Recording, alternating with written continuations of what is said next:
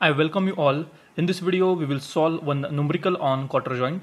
This numerical is asked in university examination December 2015. So let us go through the problem statement. Design a cotter joint of socket and spigot type which may be subjected to a pull or push of 30 kN. All the parts of the joint are made up of same material with permissible stresses 55 MPa in tension 70 megapascal in compression and 40 megapascal in shear. So with this uh, problem statement, we have to design this cotter joint. So first of all, let us write the given data.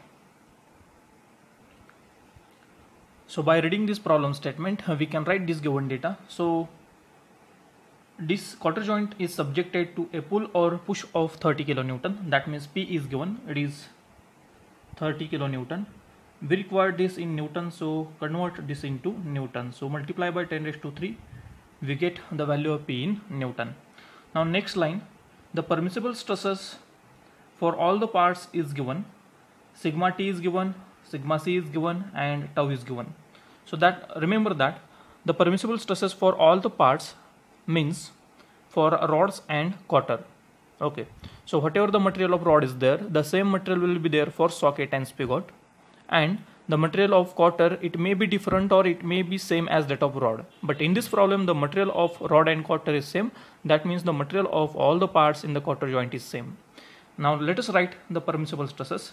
Sigma t that is permissible tensile stress is 55 megapascal.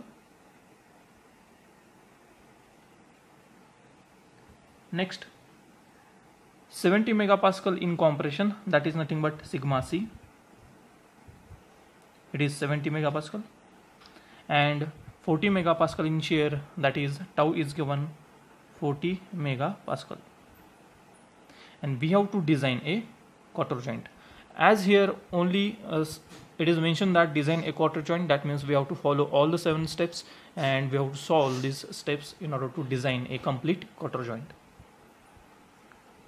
so I have shown here design procedure for cotter joint and these are the some of the steps from this and let us start from the step number one calculate the diameter of each rod that is small d and this is the equation small d is equal to under root 4p upon pi into sigma t. So let us write this equation with this step number 1. Now I have written in the solution step number 1 calculate the diameter of each rod and by referring this design procedure and also I have written this equation small d is equal to under root 4p upon pi into sigma t. So this is the equation to calculate the diameter of rod. So let us put the values of parameters which, which we require to calculate small d. So first we required p. So 4 into p is 30 into 10 raised to 3 newton upon pi into sigma t. Permissible tensile stress is 55 so let us put this value of permissible tensile stress as a 55 and let us calculate this value. So if you calculate this, you will get the answer 26.35 mm and if you round off this, you will get the answer for small d as 28 mm. So the diameter of rod we got as a small d is equal to 28 mm. Now let us refer the design procedure for cotter joint once again and this is the step number 2 calculate the following dimensions using standard relations. Okay so these are the five uh, parameters that we have to calculate from the standard relations. Now let us write this step number 2 and let us write these relations. So I have written this step number 2 and I have written also these five uh, relations that we have to calculate from this step number 2 and in this relation we have to put the value of small d in each relation and where small d is the diameter of each rod that we have calculated in the step number 1 and the answer of small d is 28 mm. So let us put the value of d as a 28 mm in these five relations and let us calculate these all relations. So after putting the value of small d as 28 mm in all these five relations we got the answer as small a is equal to c is equal to 21 mm d3 is equal to 42 mm d4 is equal to 67.2 mm but we have to round off this value as it is in fraction so let us select this value as a 68 mm. Next is t 8.68 mm. Let us round off this value again as it is in fraction. So value of t as we have taken as a 9 mm and t1 is equal to 12.6 mm. So let us round off this as a 13 mm. So this is the step number 2 now after step 2 we have to go for step 3 and this is the step 3 by referring the design procedure. Calculate the diameter of spigot d2 from tensile stress equation and this is the equation sigma t is equal to p upon pi by 4 d2 square minus d2 into t. So in this equation we have to put the value of sigma t permissible tensile stress p external force t thickness of cotter and thickness of cotter we have got it from this step number 2 sigma t is given permissible tensile stress and p is also given. So by putting all these values we get the quadratic equation. So let us obtain first this quadratic equation. So i have written the step number 3 and equation from the design procedure. Now let us put the value of sigma t it is 55 megapascal or newton per mm square. P is 13 to 10 to 3 newton.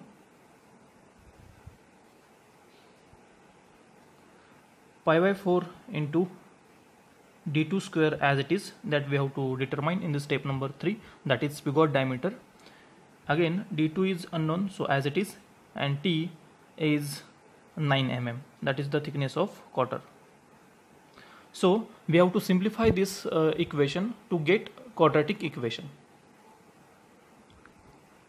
Now after solving this we got this quadratic equation pi by 4 d2 square minus 9 d2 minus 545.45 is equal to 0. Now let us solve this quadratic equation so that we can get the value of d2. So in order to solve this quadratic equation we have to use the calculator. Uh, click on this mode. Press this mode button three times. You get this option equation. Press the 1.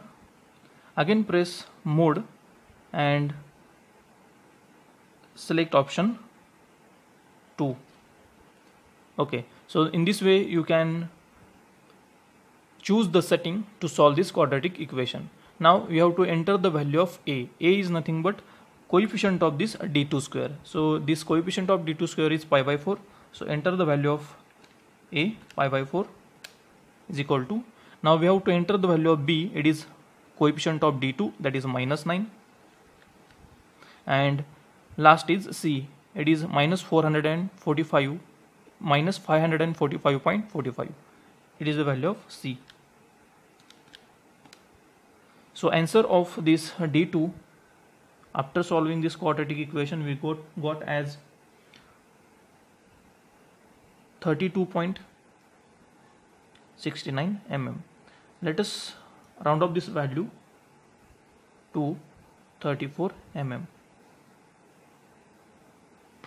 so this is the final answer of diameter of spigot now just we have calculated d2 using step number 3 and we have got the answer of d2 as 34 mm. Now let us go to the step number 4 and step number 4 is calculate the outer diameter of socket that is d1 from the tensile stress equation. This is the equation sigma t is equal to p upon pi by 4 d1 square minus d2 square minus d1 minus d2 into t okay. So in this equation we have to put the value of permissible tensile stress external force p in newton then d2 that we have obtained from the step number 3 and t which we have calculated from the step number 2 and we have to obtain again quadratic equation. We have to solve that quadratic equation to get the value of d1 so first of all let us write this step number 4 and this equation. So I have written here step number 4. Calculate the outer diameter of socket D1 from tensile stress equation and this is the equation that I have written from by referring the design procedure. Now let us put the value of each term in this equation. So sigma t is the permissible tensile stress which is given. It is 55 megapascal. P is 30 into 10 raised to 3 Newton upon pi by 4 as it is d1 square as it is now here d1 we have to find out so it will be unknown in this equation d2 we have just calculated and it is 34 so 34 square minus d1 again it is unknown. As it is d2 34 and thickness of cotter we have calculated from the step number 2 it is 9 mm okay. So first of all solve this equation obtain the quadratic equation and then I will explain how to obtain the d1 now here I have simplified this equation and finally I got this quadratic equation like this pi by 4 d1 square minus 9 d1 minus 100 eh, 1147.37 is equal to 0. Now we have to solve this quadratic equation to obtain d1. Now to solve the quadratic equation we need to use the calculator. So first of all we have to enter the coefficient of d1 square it is pi by 4. So enter the value of a it is pi by 4 then b it is the coefficient of d1 it is minus 9 and c it is minus 1147.37 so if you press equal to button you will get the answer of this d1 as 44.37 mm so let us write this answer. 44.37 mm now uh, from the manufacturing consideration we have to round off this value. So let us round off this value to 46 mm so this is the answer of d1 that is outer diameter of socket. And with this answer we completed the step number 4 so after completion of this step 4 that is after getting the answer of outer diameter of socket d1 let us uh, switch to the next step that is step number 5 and by referring the design procedure we can see that this is the step number 5 a design of cotter. So in the design of cotter uh, there are two sub steps so sub step number 1 is calculate the mean width of cotter that is small b on the basis of shear stress. And this is the equation tau is equal to p upon twice b into t okay so in this equation we have to put the value of permissible shear stress tau p external force in newton t thickness of cotter and we can calculate this b that is mean width of cotter. now let us write this step number 5 and sub step number first. So by referring the design procedure, I have written this step number 5 design of cotter, step substep number 1 calculate B that is mean width of cotter on the basis of shear stress and this is the equation that we have seen earlier. Now let us put the value of tau permissible shear stress. Now if you refer the given data, its value is given, it is 40 megapascal. Value of P is 30 into 10 raised to 3 upon twice into b that we have to determine into t.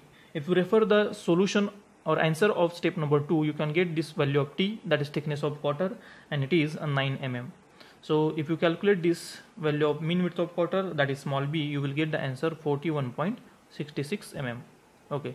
Now here we don't need to round up this value immediately because in substep number 2 we have to calculate a small b based on bending stress and then we have to select the maximum value and then we can round up the final answer.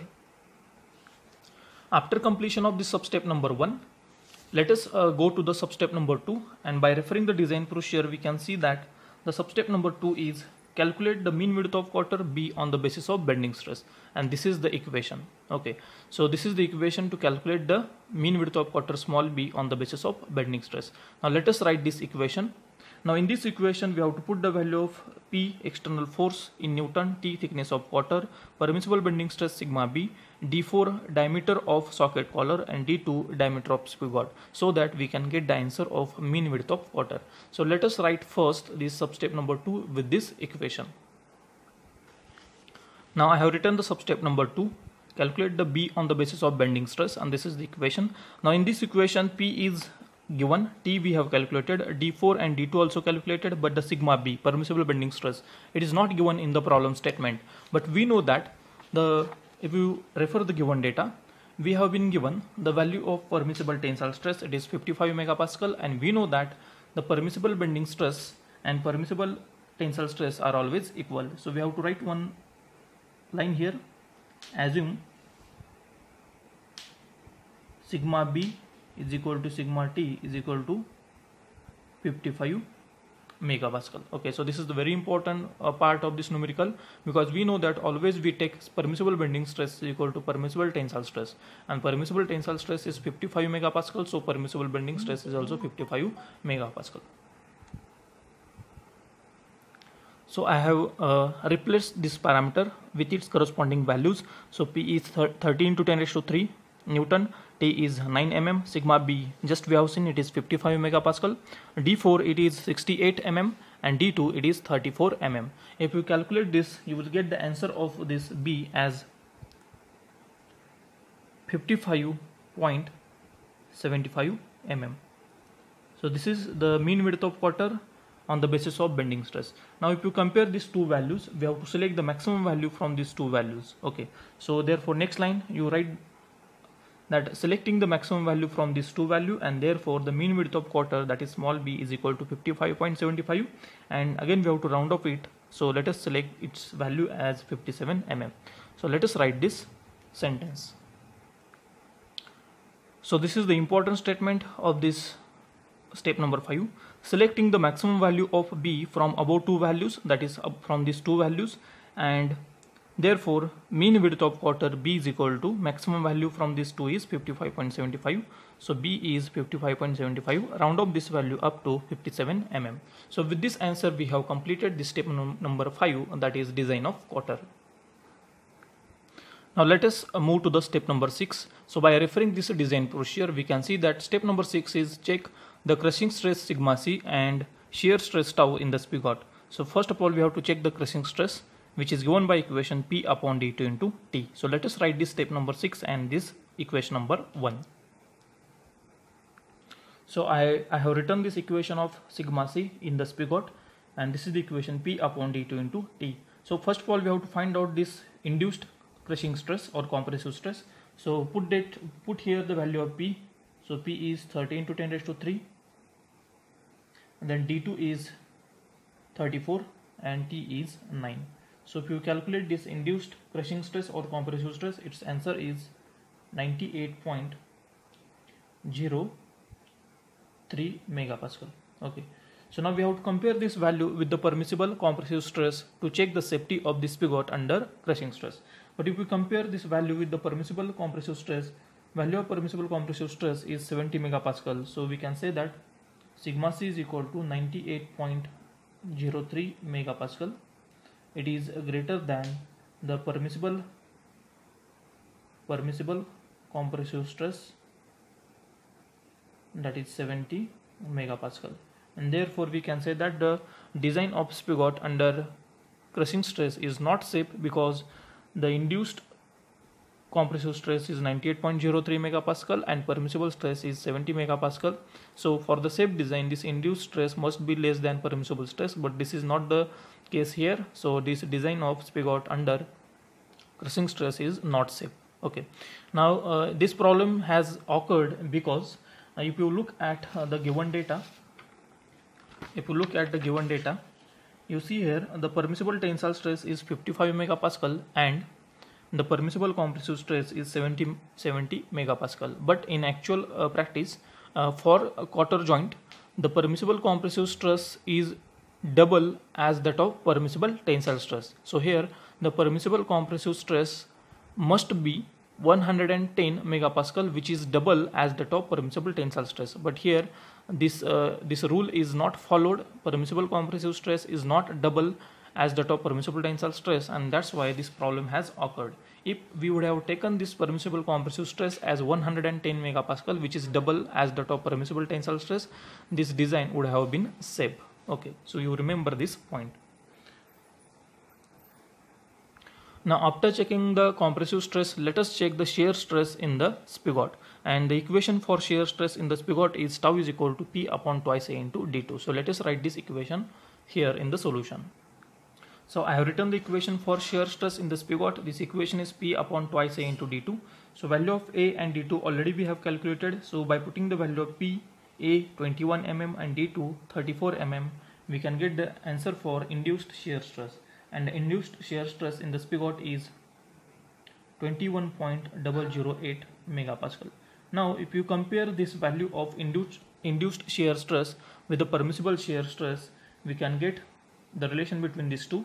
So this induced shear stress is less than permissible shear stress because the permissible shear stress is given the permissible shear stress tau is given 40 megapascal okay so the induced shear stress tau is less than permissible shear stress uh, tau is equal to 40 megapascal and therefore this design of this spigot under shear stress is safe.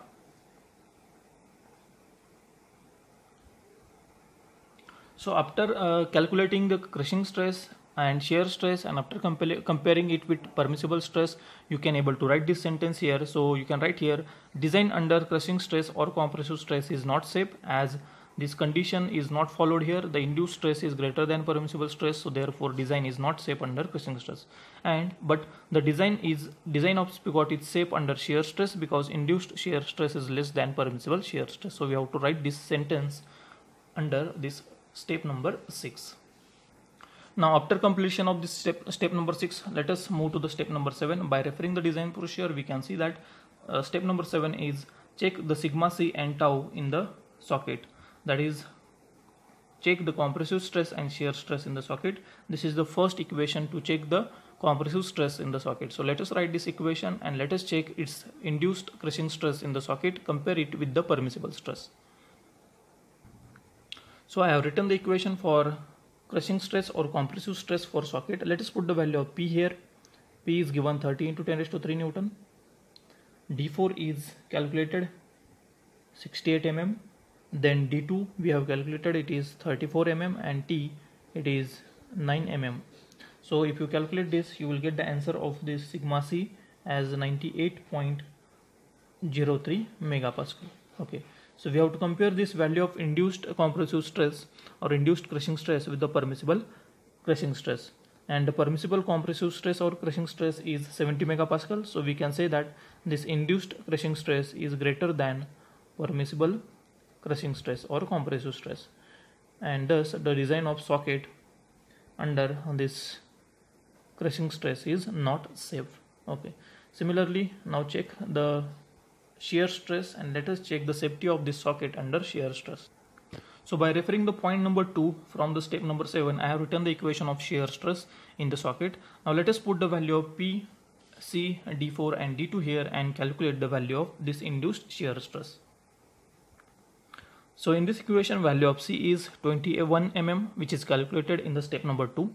Value of D4 is 68 mm and value of D2 is 34 mm. So if you calculate this you will get the answer of this permissible sorry induced shear stress as 21.008 megapascal. Now this is the induced shear stress. We have to compare this induced shear, shear stress with the permissible shear stress. And the permissible shear stress value is 40 megapascal so which is greater than this induced shear stress. So let us write this. So induced shear stress is less than permissible shear stress tau and whose value is 40 megapascal.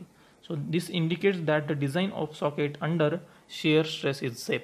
Okay, but the design of socket under crushing stress or compressive stress is not safe as induced crushing stress is more than permissible crushing stress. So as we have written the sentence here uh, for the spigot, similarly write these sentences, such sentences for socket. Okay, so I have written here, uh, based on this above calculation, I have written this sentence here, for socket, design under crushing stress is not safe, but the design under shear stress is safe. Okay, so in this problem, you just remember that this uh, unsafe case has arisen just because of this value of permissible compressive stress given in the problem. Okay, this permissible compressive stress for cotter joint, it must be double as that of permissible tensile stress. Okay, so in this problem, if sigma c would have been given like this. Twice sigma t then its value will be 110 megapascal and this unsafe condition would now would not be arised. Okay so this is the important case. So this we can consider as a a mistake uh, in this statement problem statement